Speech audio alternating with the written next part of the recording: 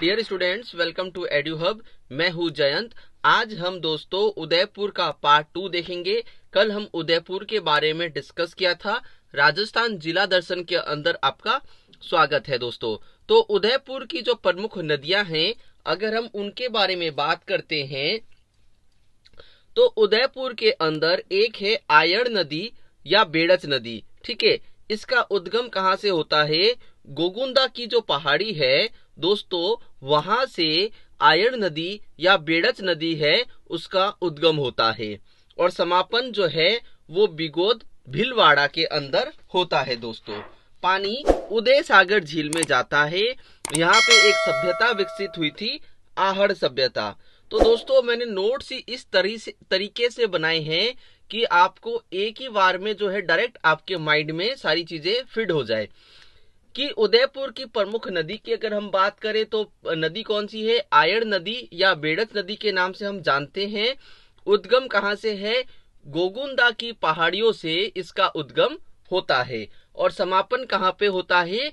बिगौद, भिलवाड़ा के अंदर इसका समापन होता है। पानी कहाँ से मिलता है? तो उदय सागर जो झील है जो महाराणा उदय सिंह के द्वारा इसका निर्माण करवाया गया था, उदय सागर झील से हमें पानी मिलता है। और सभ्यता कौन सी है? यहाँ पे आहड़ सभ्यता जो है, वो विकसित हुई थी। चित्तौड़गढ़ बेड़च नदी के किनारे पे ही बसा हुआ है। फिर अगर हम बात करें चित्तौड़गढ़ की तो चित्तौड़गढ़ जो है, वो बेड़च नदी के किनारे पे बसा हुआ है। अब हम बात करते हैं सोम नदी। सोम नदी का उद्गम बिच्छा मेड़ा की पहाड़ी से होता है दोस्तों। यहाँ पे एक बाँध बना हुआ है, सोम कागदर बाँध। सोम कागदर बाँध यहाँ पे बना हुआ है सोम नदी पर। सोम नदी सोम नदी का उद्गम कहाँ से होता है? बिच्छा मेड़ा की पहाड़ी से होता है। बिच्छा मेड़ा की पहाड़ी से सोम नदी का उद्गम होता है। और आहड़ या आयर नदी का उद्गम गोगुंदा की पहाड़ियों से होता है। याद रखना ये चीज़, ठीक है? साबरमती नदी, उदयपुर में अरावलियों की पहाड़ी से, अरावली की पहाड़ी से इसका उद्गम होता है कौन सा? साबरमती नदी जो है, उदयपुर में अरावली की पहाड़ियों से इसका उद्गम होता है। समापन जो है खम्बात की खाड़ी गुजरात के अंदर है। समापन कहाँ पे है? खम्बात की खाड़ी गुजरात के अंदर।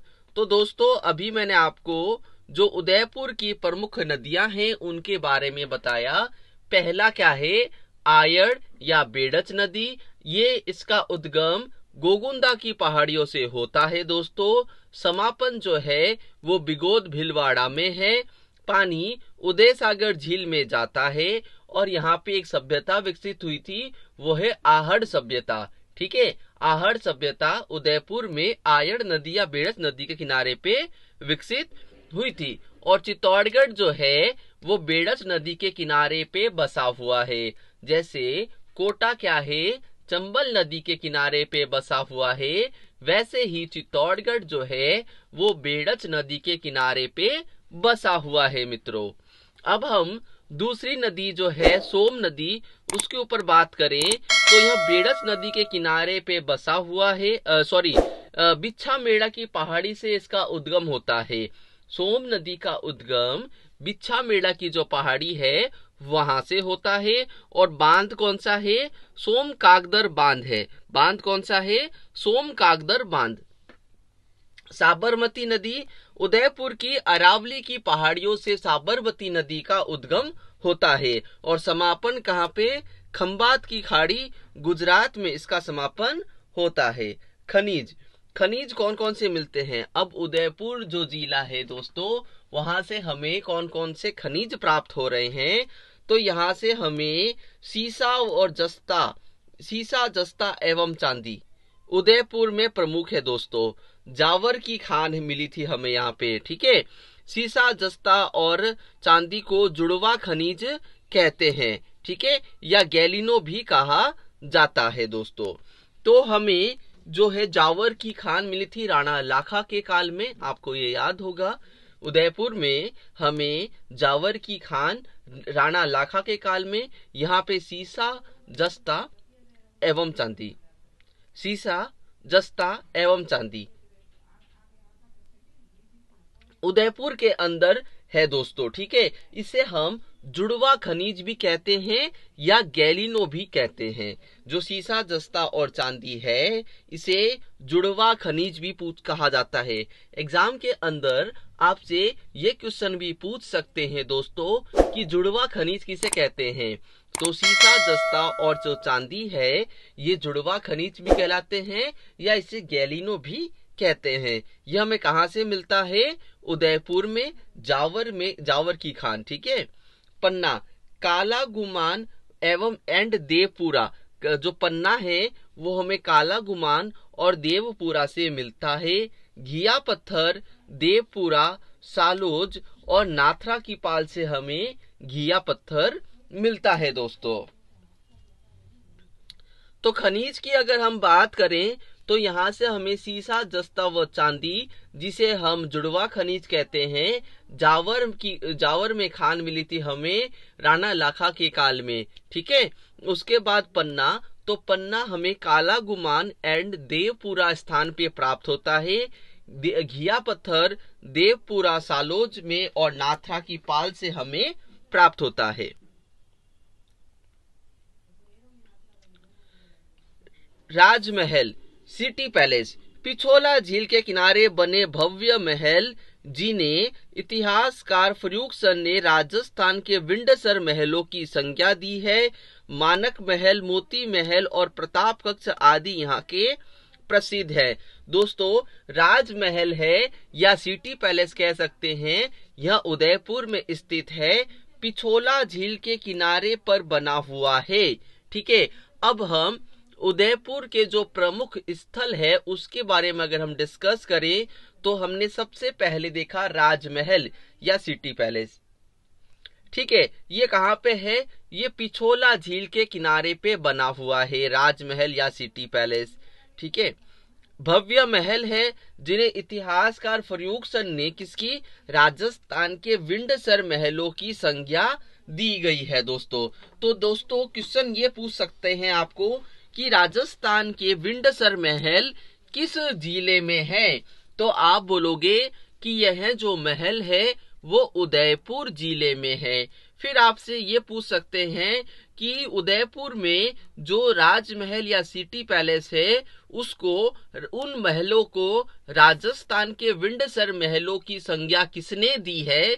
तो इतिहासकार फ्रूकसन ने इन महलों को राजस्थान के विंडसर महलों की संज्ञा दी है। तो इस तरह से क्वेश्चन पूछ सकते हैं।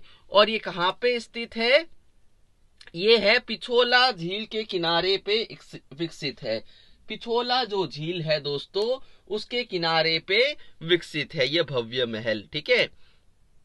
आगे चलो, सहेलियों की बाड़ी।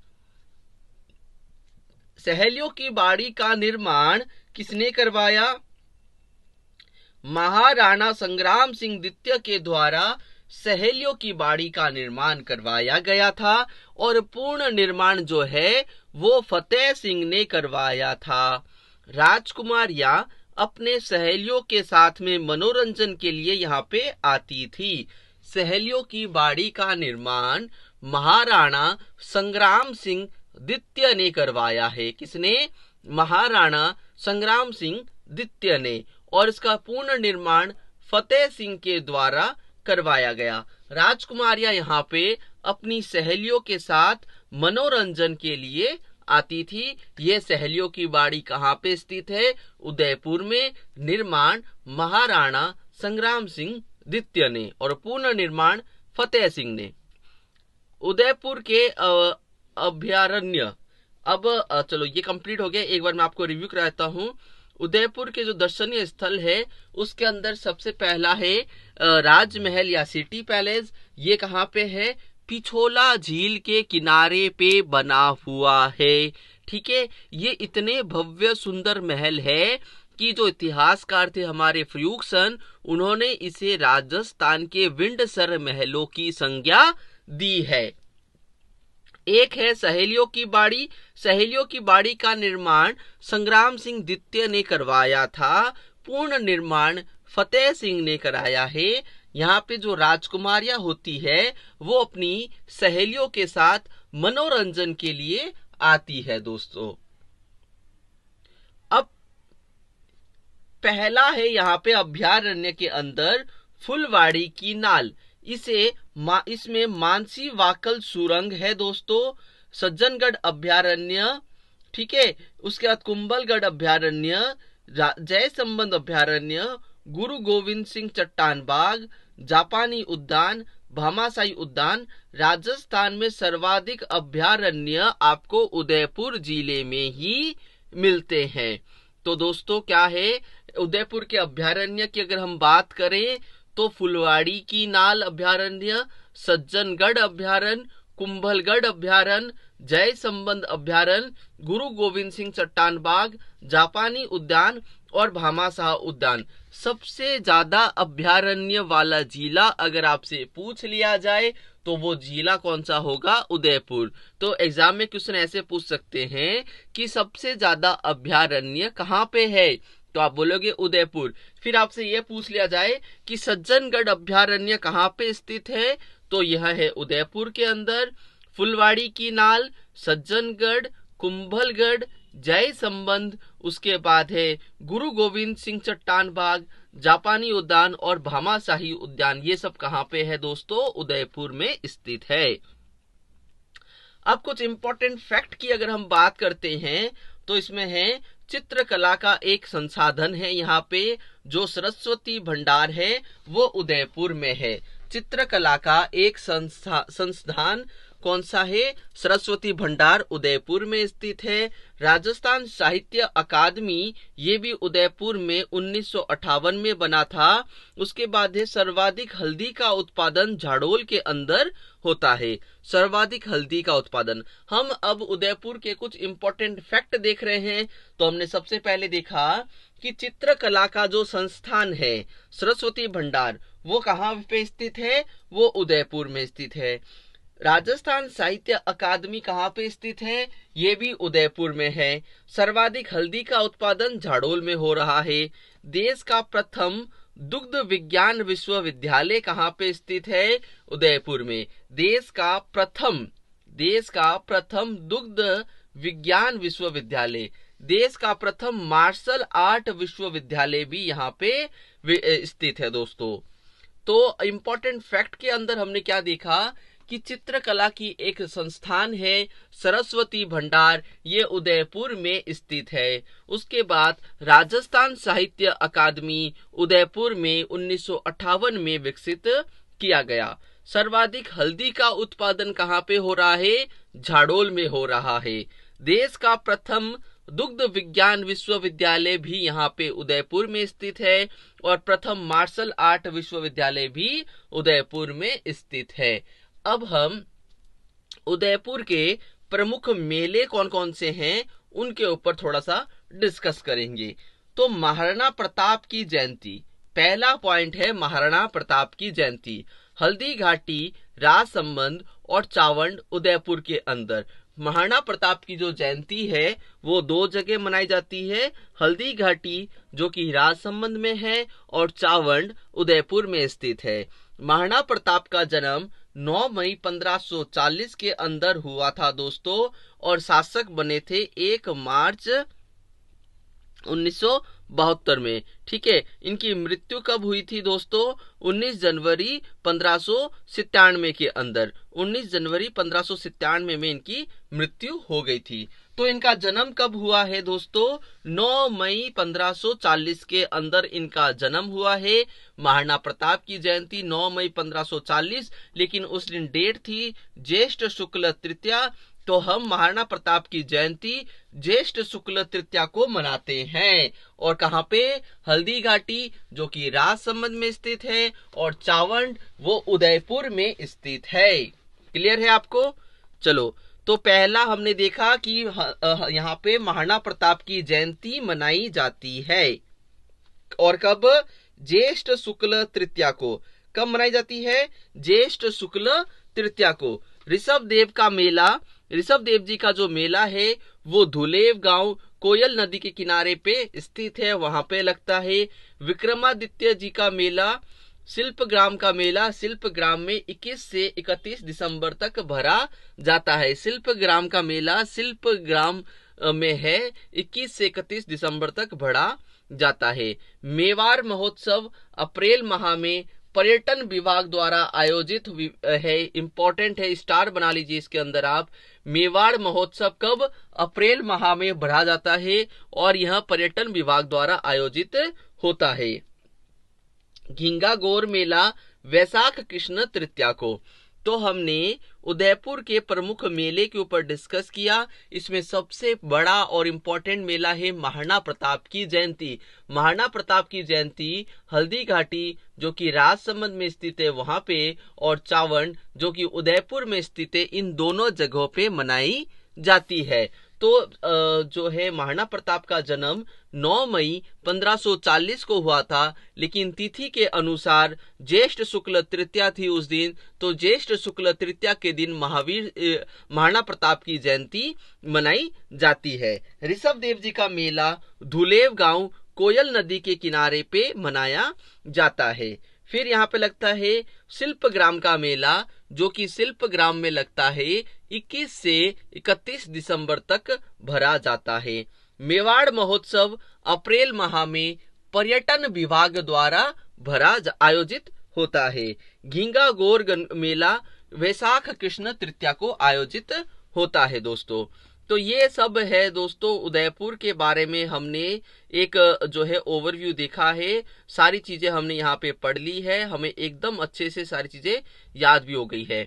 एक क्विक रिव्यू कराता हूँ पूरा उदयपुर का, जिससे आपको चीज़ें अच्छे से याद हो जाए।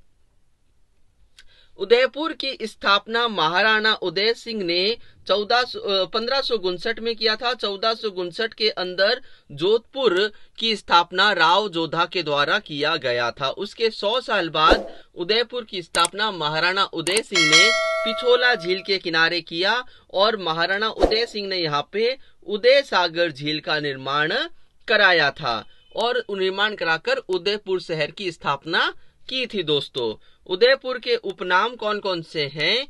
इसको हम पूर्व का वेनिस, राजस्थान का कश्मीर, सैलानियों का शहर, फाउंटेन व माउंटेन सिटी, सितारों का शहर, झीलों की नगरी और भारत का वियाना कहते हैं दोस्तों। तो दोस्तों, अगर आपको मेरी ये क्लास अच्छी लग रही है, मेरा ये प्रयास अगर आपको अच्छा लग रहा है तो प्लीज़ लाइक, शेयर और सब्सक्राइब ज़रूर करें चैनल को। मेरे को मोटिवेट करते रहे, मेरे को आपका सपोर्ट चाहिए दोस्तों, तभी मैं आपको इससे भी अच्छे अच्छे वीडियो बना के प्रोवाइड करा पाऊँ। कोई भी आपको प्रॉब्लम आती है इसके अंदर तो आप मुझे कॉल व्हाट्सएप और कमेंट तीनों कर सकते हैं। मैं तीनों जगह अवेलेबल हूँ। आपकी सारी प्रॉब्लम को हम यहाँ पे रिजोल्व करना चाहते हैं। हमारा एक ही मकसद है कि आपको एकदम फ्री के अंदर एजुकेशन मिले और पूरा डिटेल के अंदर सारी चीज़ें समझाई जाए आपको, ठीक है? इंपॉर्टेंट फैक्ट की अगर हम बात करें तो गुजरात से सर्वाधिक सीमा उदयपुर की लगती है। सर्वाधिक अंतरराष्ट्रीय सीमा बनाने वाला यह संभाग है। राजस्थान का सबसे प्राचीन रियासत कौन सी है? मेवाड़ है। तो ये तीन इंपॉर्टेंट फैक्ट हैं। गुजरात से सर्वाधिक सीमा उदयपुर की लग रही है। सर्वाधिक अंतरराष्ट्रीय सीमा बनाने वाला यह संभाग है। राजस्थान की सबसे प्राचीन रियासत कौन सी है? मेवाड़ है। अब सभ्यताओं की अगर हम बात करें उदयपुर में जो विकसित सभ्यताएँ हैं, वो है आहड़ सभ्यता, बालाथल सभ्यता धोली मगरा सभ्यता, इसवगोल सभ्यता और झाड़ोल सभ्यता। ठीक है? ये सारी सभ्यता कहाँ पे विकसित हुई है? उदयपुर के अंदर। उसके बाद हम भौगोलिक नाम के ऊपर अगर हम बात करते हैं तो भौराट का पठार, उदयपुर के कुंभलगढ़ व गोगुंदा के मध्य का पठारी भाग है दोस्तों। बोराट का पठार कहाँ पे स्थित है? उदयपुर के उद, कुंभलगढ़ व गोगुंदा के मध्य का जो पठार है उसे हम भोराट का पठार कहते हैं। भोराट का पठार ऊंचाई में तीसरे नंबर पर आता है। लसाड़िया का पठार उदयपुर में जय संबंध के आगे जो कटा फटा भाग है उसे लासड़िया का पठार कहते हैं। गिरवा उदयपुर जो है गिरवा किसे कहते हैं? दोस्तों इंपॉर्टेंट है, बहुत बार पूछा जाता है।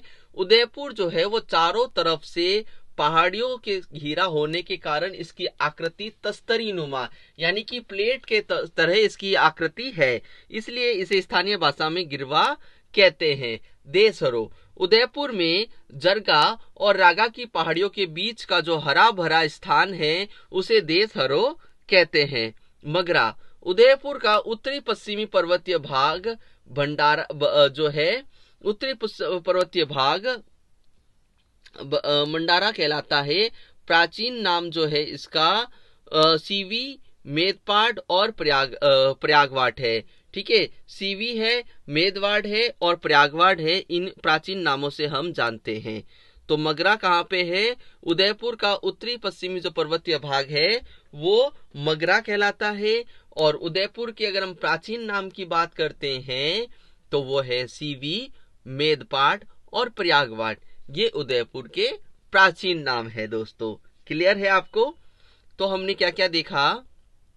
कि यहाँ पे बोहराट का पठार है, जो उदयपुर के कुंभलगढ़ व गोगुंदा के मध्य स्थित है, उसे हम बोहराट का पठार कहते हैं।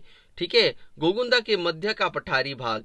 उसके बाद पठा लासड़िया का पठार, उदयपुर में जय संबंध से आगे अगर हम जाते हैं तो वहाँ पे हमें कुछ कटी फटे पहाड़ियाँ या कटे फटे भाग मिलते हैं, जिसे हम लासड़िया का पठार कहते हैं।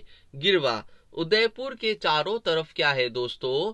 पहाड़ों से घिरा हुआ है और ऐसी आकृति बना रखी है कि तस्तरी नुमा दिखता है वो, ठीक है? तो इस तस्तरी नुमा आकृति जो दिखती है, इसे ही पूरे स्थानीय भाषा में गिरवा कहा जाता है दोस्तों। देसरो। उदयपुर में जरगा व रागा की पहाड़ियों के बीच का जो क्षेत्र हरा भरा रहता है हमेशा, उसे देश हरो कहते हैं। मगरा उदयपुर का उत्तरी पश्चिमी पर्वतीय भाग मगरा कहलाता है। प्राचीन नाम उदयपुर के सीवी, मेदपाट और प्रयागवाट है। उदयपुर ज़िले के प्रमुख मंदिर कौन कौन से हैं दोस्तों? जगत अंबिका मंदिर, जगत ग्राम उदयपुर के अंदर। जगत अंबिका मंदिर कहाँ पे है? जगत ग्राम उदयपुर के अंदर। इसे मेवाड़ का खजुराहो भी कहते हैं। मेवाड़ का खजुराव कौन सा है? क्वेश्चन ऐसे पूछा जाएगा, मेवाड़ का खजुराव कौन सा है? तो जगत अंबिका का जो मंदिर है, उसे मेवाड़ का खजुराव कहते हैं। शैली प्रतिहार कालीन और महामारू शैली के अंदर यह निर्मित है। प्रतिहार कालीन और महामारू शैली के अंदर निर्मित है। मूर्तियाँ, देवपाल और यक्ष की तथा किन्नरों की मूर्तियाँ यहाँ पे पाई जाती है मित्रों। ठीक है? उसके बाद नृत्य गणपति की यहाँ पे प्रतिमा आपको देखने को मिलेगी। तो यह जगत अंबिका मंदिर जगत ग्राम उदयपुर में स्थित है। अंबिका माता का मंदिर उदयपुर में महाराणा राज सिंह के द्वारा निर्मित कराया गया था। अब एक मंदिर है इंपॉर्टेंट है, देखो, विष्णु भगवान को समर्पित है। जगदीश मंदिर, जगन्नाथ मंदिर पचास खंभों में बना मंदिर सौपर्ण संस्कृति का मंदिर और सपनों में बना मंदिर, यह भगवान विष्णु को समर्पित है दोस्तों। जगदीश चौक उदयपुर के अंदर स्थित है। इसमें एक प्रशस्ति है, जगन्नाथ राय प्रशस्ति, जिसका निर्माण कृष्ण भट्ट के द्वारा कराया गया था और जगत राय प्रथम ने इसमें जो है लिखवाया था दोस्तों। वास्तुकार अर्जुन भाना मुकुंद अर्जुन भाना और मुकुंद जो है, वो वास्तुकार थे इसके और 1679 में औरंगज़ेब द्वारा खंडित कर दिया गया था। उसके बाद धाय मंदिर या नोजू मंदिर या जगत सिंह प्रथम ने बनाए थे। आहड़ के जैन मंदिर खंडित अवस्था में मिले हैं। बारहवीं सदी में निर्मित थे। जैन आचार्य जगचंद ने बारह वर्षों तक यहाँ पे तप किया था। इसलिए रावल जेत सिंह ने इन्हें तपा की उपाधि दी थी दोस्तों। अमर सिंह प्रथम ने इसी संस्थान पर संन्यास लिया था। मेवाड़ के सिसोदिया वंश का शासन स्थल जो है वो यही है दोस्तों। महासत्या क्या है? महासत्यों का टीला तो बागोड़ भिलवाड़ा के अंदर मिलेगा आपको दोस्तों। बागोड़ भिलवाड़ा के अंदर महासत्यों का टीला हमें देखने को मिल सकता है, ठीक है? तो ये दो है। मेवाड़ के सिसोदिया वंश का शमशान स्थल तो वो शमशान स्थल क्या है दोस्तों? महासत्या कहलाता है महासत्यों का टीला हमें बागोड़ सभ्यता जो कि भिलवाड़ा में स्थित है, वहाँ से मिला था। एकलिंग नाथ जी का मंदिर कैलाशपुरी गाँव, उदयपुर में बप्पा रावल या काल भोज ने इसका निर्माण कराया था। लकुलिस या पासुपात संप्रदाय का यह मंदिर बना हुआ है। उसके बाद राजस्थान के भगवान शिव का सबसे बड़ा मंदिर है। यह दोस्तों, मेला महाशिवरात्रि चेत, फाल्गुन कृष्णा त्रयोदशी को भरता है। ऋषभ देव जी केसरे नाथ काला बाबू जी की काला बाबू जी के रूप में पूछते हैं, धुलेव गाँव उदयपुर में कोयल नदी किनारे पे स्थित है, भगवान आदिनाथ। ऋषभ देव को समर्पित है, मूर्ति पर केसर केसर चढ़ाई जाती है दोस्तों, और भील जनजाति इन्हें काला बाबू जी के रूप में पूजते हैं। ठीक है तो भील जनजाति जो है, वो काला बाबू जी के रूप में पूजती है दोस्तों। रथ यात्रा आश्विन शुक्ल कृष्ण तृतीया प्रति, प्रति, प्रतिपदा व द्वितीया को मनाई जाती है। सास बहु का मंदिर या सहस्त्र बहु मंदिर जो कि उदयपुर में स्थित है बड़ा मंदिर सास मंदिर छोटा मंदिर बहु का मंदिर या शेषनाग मंदिर के नाम से प्रसिद्ध है। निर्माण जो है काल भोज ने किया है बप्पा रावल ने भी कर दिया है। ठीक है का, निर्माण काल भोज या बप्पा रावल के द्वारा कराया गया था। ये दोनों एक ही इंसान है इनको उपाधि दी गई थी बप्पा रावल की दोस्तों। ठीक है? दीवार छतों पर महाभारत या रामायण की चित्र चित्रित किए गए हैं दोस्तों, ये भी याद रखना। दीवार और छतों पर जो है महाभारत के जो, या रामायण के चित्र चित्रित किए गए कहाँ पे? सास बहू का मंदिर या सहस्त्र बाहू मंदिर के अंदर। गोसन बावड़ी, बावजी का मंदिर का, कातनवाड़ा गाँव उदयपुर में यह स्थित है और पत्थर की बैल यहाँ पे चढ़ाई जाती है। महेंद्र मछेंद्र नाथ मंदिर उदयपुर में भगवान श्री कृष्ण का मंदिर है। अन्य नाम सांझियों के लिए यह प्रसिद्ध है और सांझी मंदिर जो है सांझी मंदिर भी यहाँ का प्रसिद्ध है दोस्तों। तो मछेंद्र नाथ मंदिर कहाँ पे? उदयपुर में भगवान कृष्ण का मंदिर है और ये सांझियों के लिए प्रसिद्ध है। उसके बोहरा गणेश मंदिर उदयपुर में स्थित है। निर्माण महाराणा राज सिंह ने करवाया था। जावर की खान, जावर की जो खान है, जावर में हमें विष्णु भगवान की, विष्णु भगवान का मंदिर हमें प्राप्त हुआ है दोस्तों। विष्णु मंदिर या जावर के अंदर हमें जावर प्रशस्ति मिली है। रमाबाई को बागेश्वरी की उपमा दी गई है दोस्तों, और निर्माण भी इसका रमाबाई के द्वारा कराया गया था। तो हमें जावर के अंदर विष्णु मंदिर प्राप्त हुआ है। जावर कहाँ पे है? उदयपुर में। जावर की प्रशस्ति इस प्रशस्ति का निर्माण किसने कराया है? रमाबाई ने करवाया है और रमाबाई को इस पर इस प्रशस्ति में बागेश्वरी की उपाधि दी गई है। निर्माण रम, रमाबाई के ने कराया था इसका दोस्तों। विष्णु भगवान को समर्पित है और वास्तुकार कौन है? ईश्वर है। वास्तुकार कौन है? ईश्वर।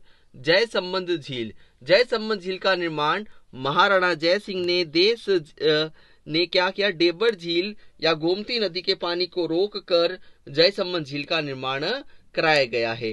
राज संबंध मीठे पानी और कृत्रिम झील सर्वाधिक मात्रा में है दोस्तों, ठीक है?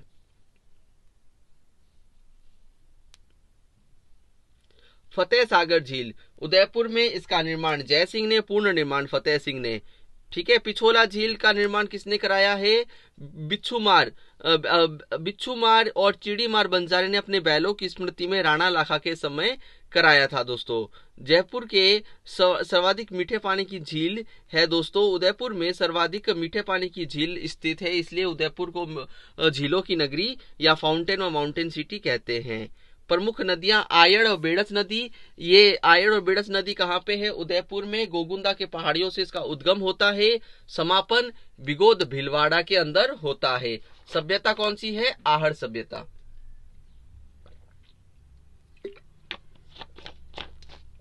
ठीक है, आहड़ सभ्यता यहाँ पे विकसित हुई। चित्तौड़गढ़ जो है, बेड़स नदी किनारे पे बसा हुआ है।